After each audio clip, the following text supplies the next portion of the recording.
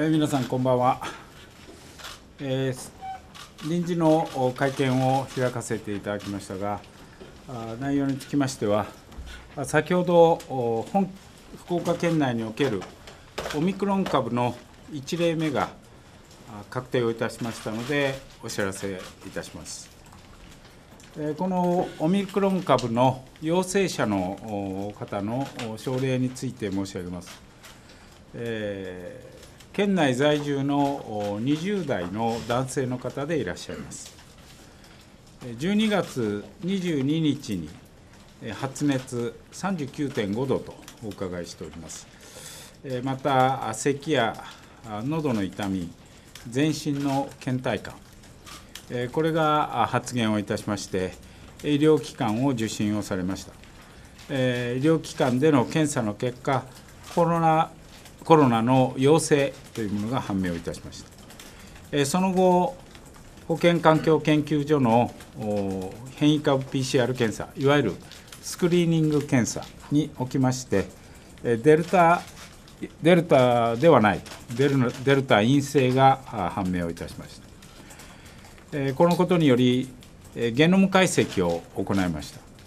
た。このゲノム解析の結果、本日、オミクロン株であることが判明、確定をいたしました。現在は、この方は感染症指定医療機関に入院をしていただいております。状態でございますが、発熱が先ほど申し上げましたように、発熱が見られたものの、改善傾向にあるというふうに伺っております。この方は、海外渡航歴はございません。え感染経路は不明でございます。えこのことから、市中感染と考えられるわけでございます。えただし、え発症される4日前から2日前にかけて、国内でオミクロン株が確認されている地域でございます大阪府、京都府との往来歴がございまして、県内での市中感染であるのか、大阪、京都において感染をされたのか、断定することができません。えーまあ、いずれにせよ、海外渡航歴がなく、感染経路不明であるということから、市中 市中感染の1例目であるというふうに判断したところでございます。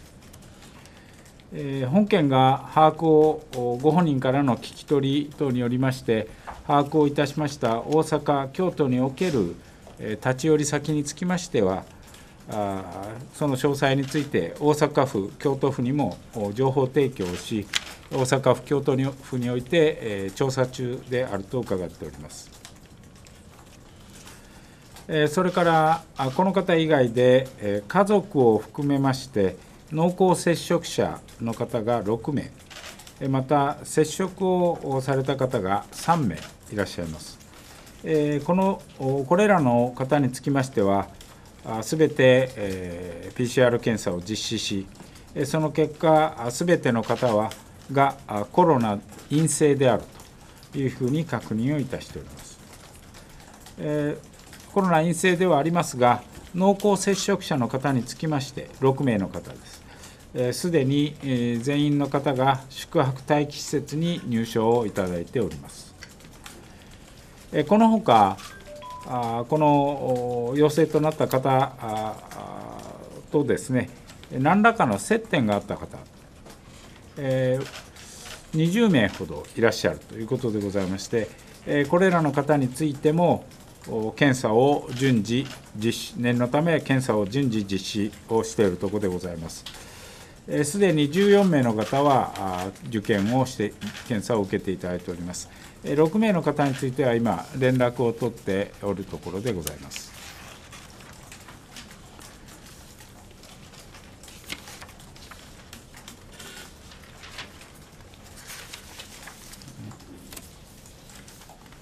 引き続きましてですね、あの我々としては、この変異株 PCR 検査、まあ、いわゆるスクリーニング検査、およびゲノム解析による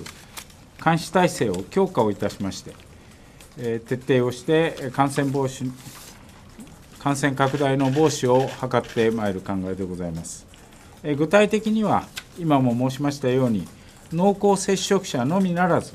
幅広に接触があった方についても検査を行い、オミクロン株の陽性者の方は、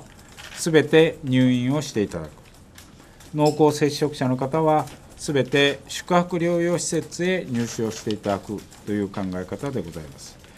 また、陽性者、濃厚接触者の人数などにつきましては、今後、今後は判明次第、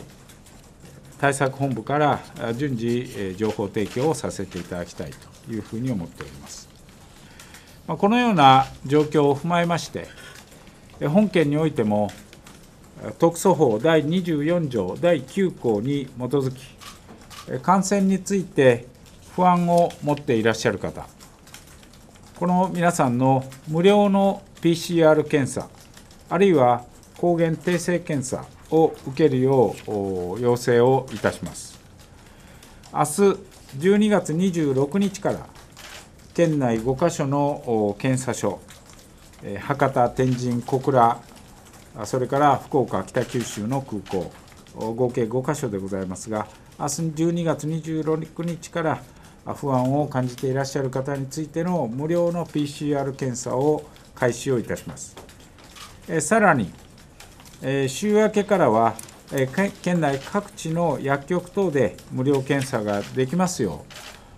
う、順次、拡充をしていく考えでございます。やはりその薬局の方はあの薬局さんの方のですね準備体制というものも必要でございますので、えー、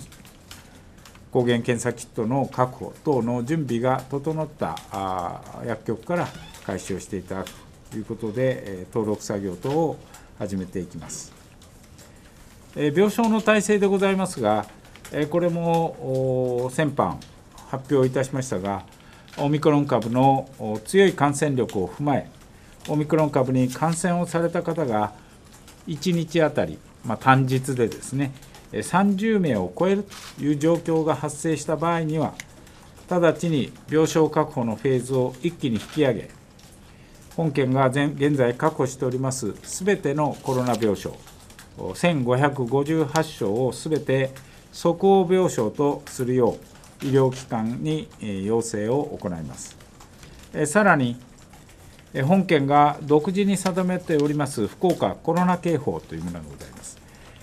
これからのいろいろな県民の皆様方、事業者の皆様への要請等についての基準を定めております。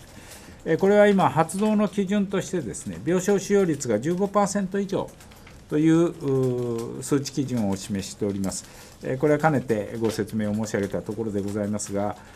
このオミクロン株の感染力の強さというものを考え合わせますと、この発動の前倒しというものも検討する必要があるというふうに考えております。今後ですね、このオミクロンの感染状況等を踏まえ、また病床使用率の状況変化、こういったものを注視し、先手で先手を打って発動をしてまいりたいというふうに考えております。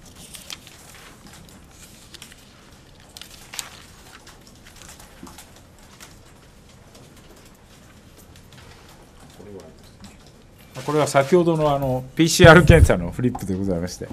フリップを出し忘れておりましたけど、先ほど申しましたように、感染に不安を感じる県民の方につきまして、無料の PCR 検査、また抗原定性検査について、受けていただきますように要請を行い、お要請いたします。明日12月26日から県内5か所の検査所で開始をいたします。週明けからはさらに県内各地の薬局等で無料検査が受けられるよう拡充をしてまいります。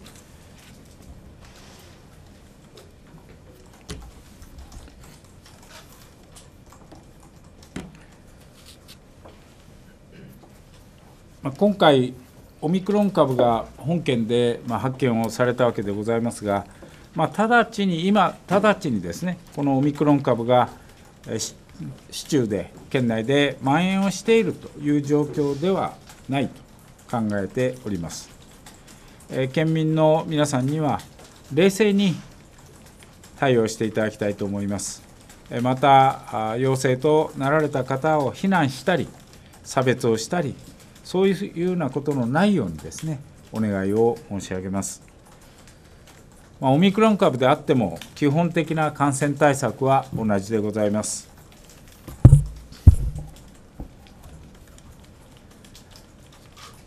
皆様方には改めてですねワクチンを接種された方も含めマスクを着用していただき手洗い密の回避あるいは部屋の換気といった基本的な感染防止対策の徹底をお願いをいたしますまた県をまたぐ移動についてはですね岸田総理も表明をされておりましたが行き先の状況等も含めですね慎重にご判断をいただきたいと思います。もしご自身に発熱等の症状がある場合は、移動、外出は控えてください。そして積極的に医療機関での受診、また PCR 等の検査を受けていただきたいと思います。年末年始で医療機関が休みではないかということがあると思いますけれども、この際は、受診相談センターに連絡をしていただければ、24時間相談を受け付けておりまして、近くの受診できる医療機関をお知らせいたします。そして、まあ、年末年始で、えー、ご親族、友人と飲食をされるという機会も増えると思いますが、飲食の際には、やはり感染リスクが高い、これは今までも申し上げている通りでございます。えー、会食は感染防止についての第三者認証を受けた認証マークが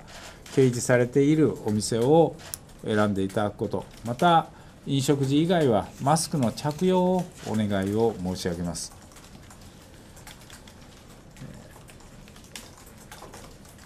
まあ、引き続きですね、一人一人、まあ、我々一人一人が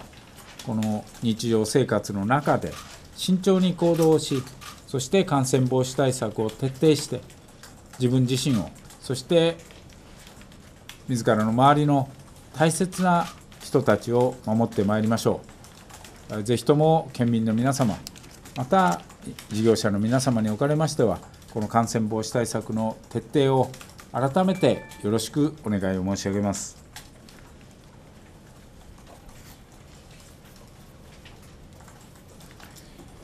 私からは以上でございます。